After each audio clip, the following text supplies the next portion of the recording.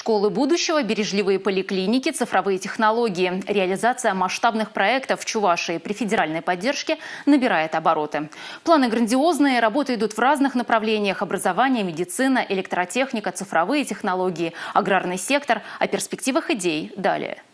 Привести в регион не просто лучшие практики, инвестиции к ним. Готовить управленцев в школе Сколково – проект правительства страны и Внешэкономбанка. До того, как в июле 2020 года команда Чувашии вошла в этот проект, мы проходили очень серьезный конкурсный отбор.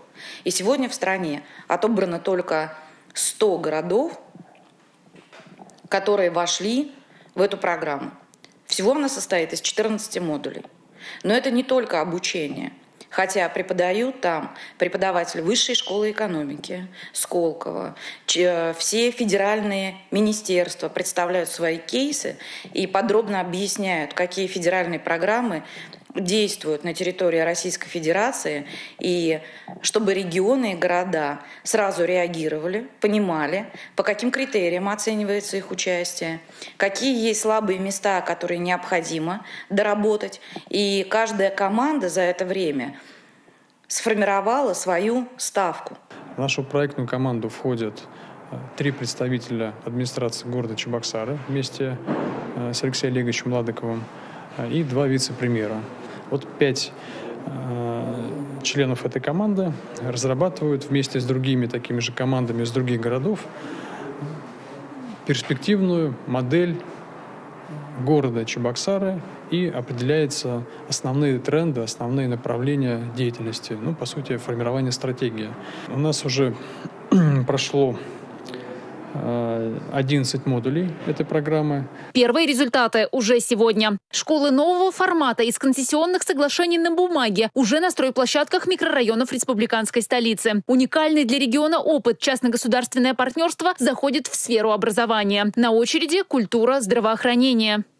Первично создание условий и программ таким образом, чтобы это было интересно бизнесу, чтобы через это развивались микрорайоны, города и, как следствие, республика. Мы все хотим, так же, как ведущие города страны, да, как Москва, э, Санкт-Петербург, жить там, где есть комфортная городская среда, где ежедневно жизнь наполнена событийными вещами, где очень удобная логистика, хороший транспорт. И к этому мы стремимся, и отрабатывает каждый свое направление. Свою очередь, глава администрации города делает ставки на электроэнергетику. Для Чуваши знаковая отрасль. Продукция предприятий региона известна на мировом рынке. Например, это проект строительства федерального испытательного центра для электротехнической отрасли, который позволит нашим предприятиям выйти на международный уровень.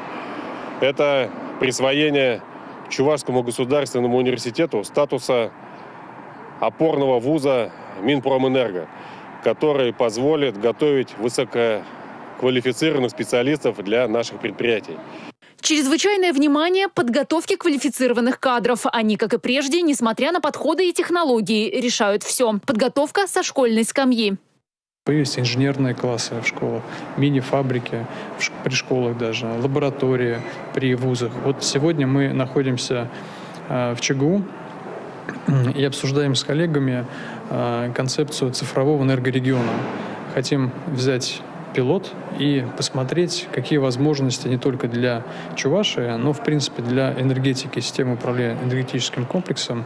Даже на полномасштабное развертывание проектов потребуется не один год. Но, как заявляют в заинтересованных ведомствах, эффект от вложенных средств и усилий не заставит себя долго ждать. Татьяна Трофимова, Юрий Марков, Андрей Шоклев, Республика.